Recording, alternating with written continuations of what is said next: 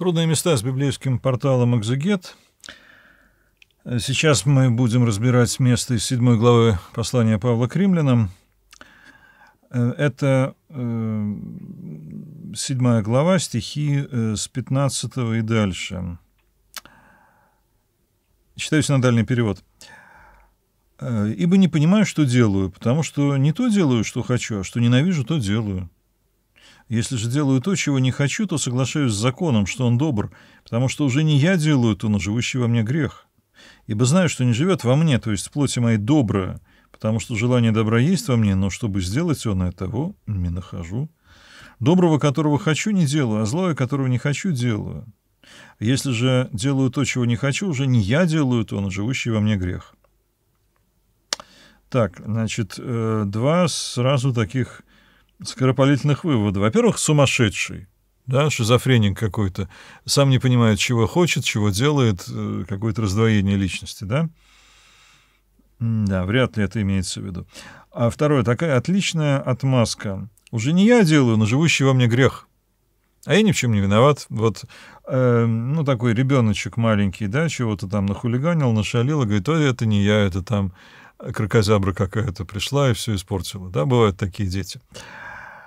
Эм, ну, кстати, вот э, мне кажется, маленький ребенок в этом случае рассуждает немножечко в том направлении, в котором и Павел. То есть вот э, ребенок не хочет маму огорчать, не хочет быть плохим, да? Но почему-то у него это не получается, да? Вот почему-то он все-таки огорчает и ведет себя плохо. И потом искренне рыдает, э, просит прощения, но, как родители знают из практики, вряд ли это не повторится, да? Бывает, конечно, но далеко не всегда. То есть, может быть, Павел, э, ну, о таком буквально детском поведении, когда вот что-то прям толкает, да? Ну, есть в русском языке выражение «без попутал», которое, кстати, тоже отлично перекладывает ответственность за поступки на э, нечистую силу.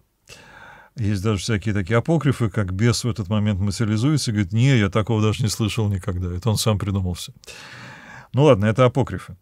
А э, что все-таки имеет в виду Павел? И зачем у него вообще это рассуждение? То есть, э, смотрите, во мне не живет доброе, говорит Павел. Здрасте, если уж в Павле не живет доброе, то как в нас оно может жить? Это значит, я хуже всех, я э, самое большое ничтожество, самый великий грешник, и дальше вот эта глубина отчаяния, самоугрызения, в котором действительно можно утонуть и э, ничего хорошего не делать. Не знаю, не думаю, что э, Павел делает так, потому что достаточно много о себе говорит хороших слов. Но о себе не как о некой великой личности, да, а о себе как о проповеднике, о себе как о человеке, в жизни которого э, Христос являет свою силу, да, и Павел совсем не говорит, я самое большое ничтожество, самое мне, наверное, говорит, мелкое ничтожество, я самый ужасный грешник, он этого нигде не говорит. Но, э, смотрите, давайте задумаемся, я, может быть, свой перевод э, прочитаю. Мы ведь знаем, что закон духовен, а я человек из плоти, я продан в рабство греху. Сам не понимаю своих поступков, чего желаю, того не делаю, а творю то, что мне ненавистно. Когда я делаю, чего не желаю, становится видно, в чем польза закона. Это уже не я сам действую, но живущий во мне грех. То есть, смотрите, человек часто не может сделать того, что он хотел бы сделать, по разным причинам.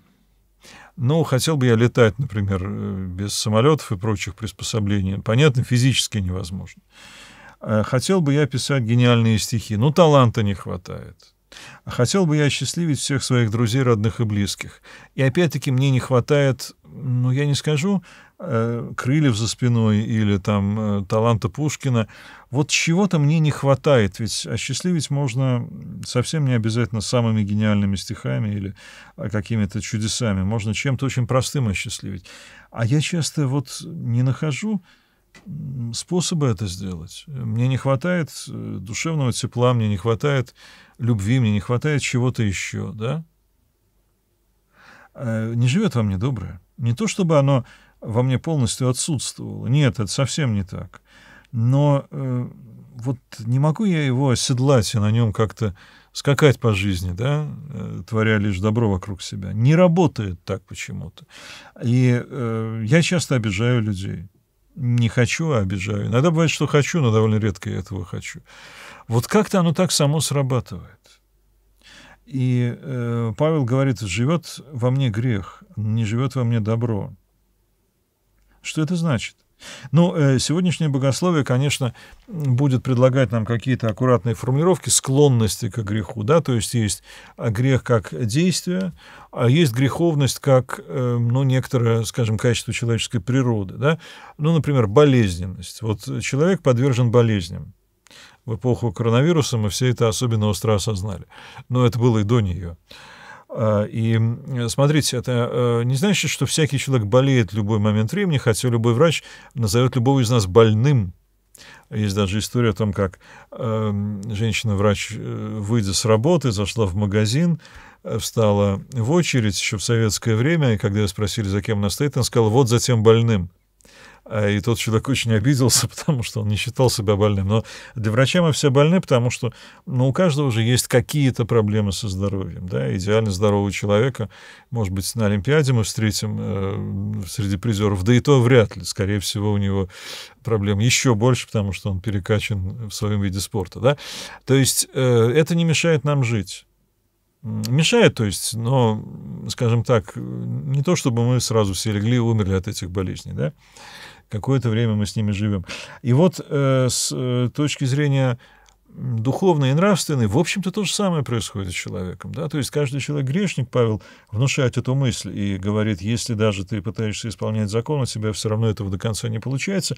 Да и ладно про закон, хватит про него, мы уже много раз это обсуждали. Здесь Павел э, как бы отказывается уже от подробного обсуждения закона, он его упоминает, да, и э, если же я делаю то, чего не хочу, то соглашаюсь с законом, что он добр, как э, в синодальном, или я перевел немножко иначе, становится видно, в чем польза закона. Да?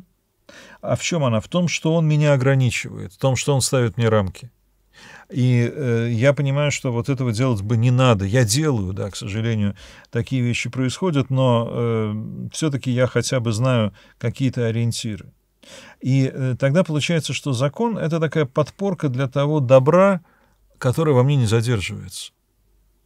Вот э, был бы я идеальным человеком, мне никакой закон не был бы нужен, потому что я сам был бы законом для себя и всех окружающих. Но этого не происходит. И Павел говорит, так вот он идеальный человек, есть Христос, э, который не то чтобы отменил закон, но он его исполнил скорее, да, то есть он э, превзошел эти требования. Он стал ориентиром, на который мы можем оглядываться, и тогда нам эти рамки не очень нужны. Не то чтобы они были плохие, а просто не очень нужны. И э, смотрите, вот у Павла есть и такой образ, уже не я живу, но живет во мне Христос. Не в римлянах, но он есть.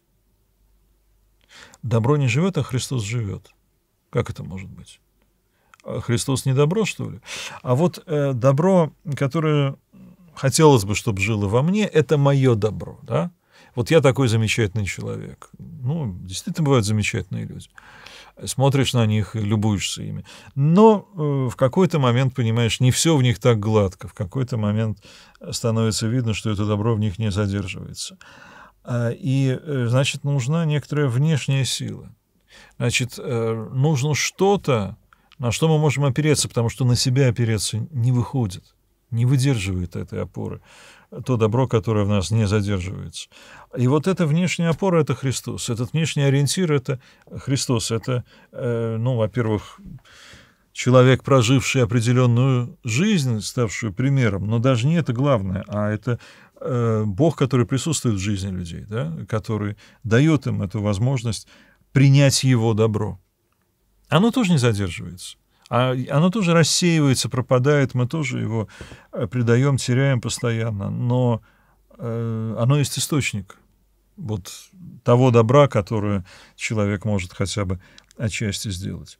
Ну, это Павел уже расскажет немножко дальше, а э, пока что он просто показывает вот э, эту трагедию несоответствия между собой идеальным, каким каждый человек хотел бы себя видеть, и собой реальным, с тем собой, которого мы встречаем в собственной жизни. И а, вот эта трагедия, она, э, с одной стороны, ну, подчеркивает необходимость закона, как какого-то внешнего ограничения, а с другой стороны его ограниченность, его несовершенство. Это подпорка, но это не опора.